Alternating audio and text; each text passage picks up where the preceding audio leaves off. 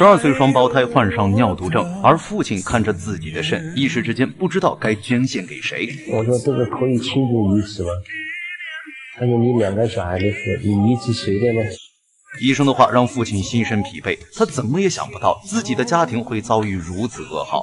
双胞胎兄弟小云和小豪是对同卵双胞胎，神情和模样简直就是复制粘贴。可从他们出生开始，两兄弟的发育程度明显不同。十二岁时，弟弟竟然比哥哥高出十五厘米，体重更是相差几十斤。就连父母都没有想到，同时出生的两兄弟竟然被分成了大小号。起初，父母并没有在意，认为是哥哥的身体吸收不良导致的。可没想到，突然有一天，哥哥突然反复发烧，不管吃什么东西都会吐出来。父母便立马带着大儿子去医院检查。检查结果出来之后，竟然发现大儿子肌酐高达上千，被诊断为肾衰竭五期，也就是我们常说的尿毒症。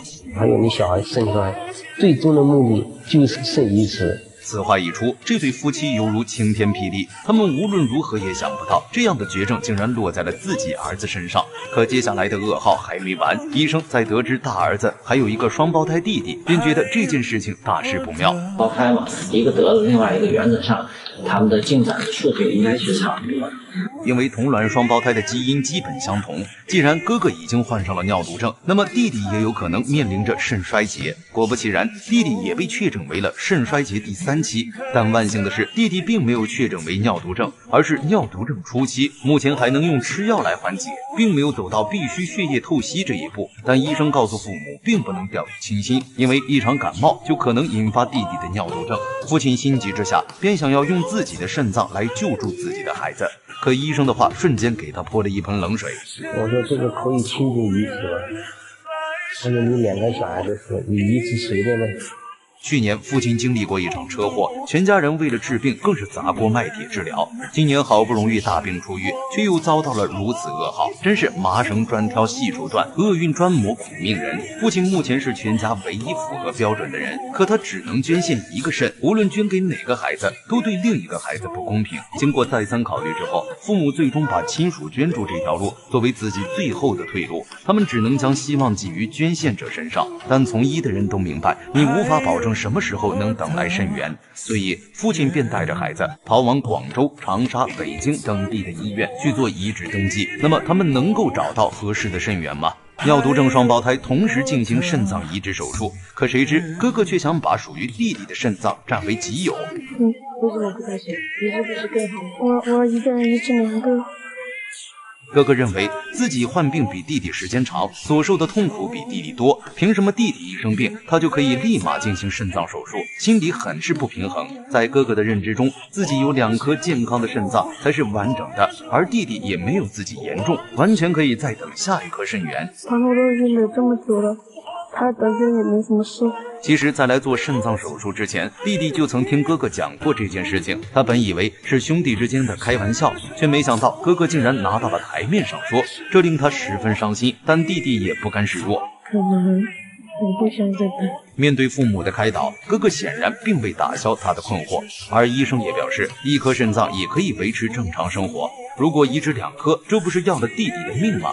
更何况等到下次合适的肾源还不知道是什么时候。但兄弟之间的争吵并没有引来父母的关注，因为他们最担心的事情就是肾源是否稳定。而在此之前，他们已经经历了四次失望。每次准备手术的时候，捐献人的家属却临时反悔了，这让他们一家人从希望又陷入到了绝望当中。更何况他们一家人还是普通的工薪家庭，一个月累死累活只能挣个七八千块钱。而光两个孩子的药物费用就需要一万元，为了此次手术，他们更是踏破了亲戚家的大门，好说歹说才凑够了两个孩子的手术费，而这全部都是亲人的心意。他们一再强调让我去治病，我要把这个事放在身上。如果说下巴的肾也要到了换肾，说我们大家一起来想办法。可越害怕什么越来什么。距离手术还有几个小时的时候，医生突然表示，提供者突然出现了情况，手术可能要延期了。这就意味着这一家人再次从希望跌落下来，心里好难受。这次是最有失望的一次，但愿只是推迟，而不取消。在经过三天的苦苦等待之后，他们一家人最终等来了心心念念的肾源。捐献者是一位脑死亡的十六岁男孩，他用自己的生命帮助四个人重获新生，而其中就有小云、小豪兄弟两人。他们走进手术室之前，深深地向医院和捐献者鞠躬感谢。医生划开男孩的肚子，从里面掏出两颗肾脏，立刻放进早已准备好的冰块和水里。而这两颗肾脏即将要拯救身患尿毒症的双胞胎兄弟。在做肾脏移植手术之前，哥哥甚至还想要将两颗肾全部占为己有，可惜却被父母两人拒绝了，因为这样会害了弟弟的命。两兄弟在父母的陪伴之下，分别走进了手术室。随着吸入麻醉药，哥哥想要移植两颗肾脏的美梦，最终还是落空了。大多数肾脏移植手术跟常人所想的并不一样，手术并不是把原有的肾脏摘除，然后换上新的肾脏，而是在原有的肾脏旁边植入新的肾脏，以此来保证器官的正常功能。在手术里，三位主刀医生屏住呼吸，一刻也不敢分神，因为儿童肾脏要比成年人更加精细。随后，女护士拿着完好无损的肾脏来到了手术室里。好在捐献者与两兄弟年龄相差不大，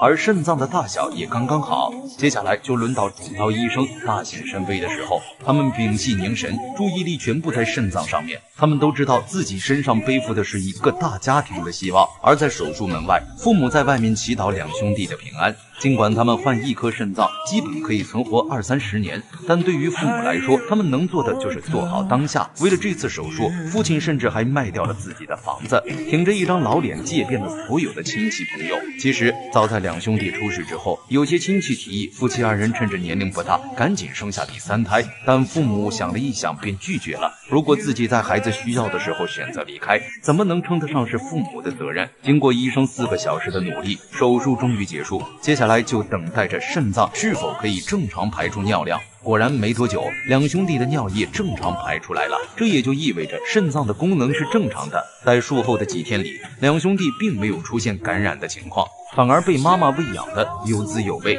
看到两个孩子生龙活虎的样子，父亲非常感谢捐献者的帮助。他们随后也参加到了捐献者的队伍里，将这份爱延续了下去。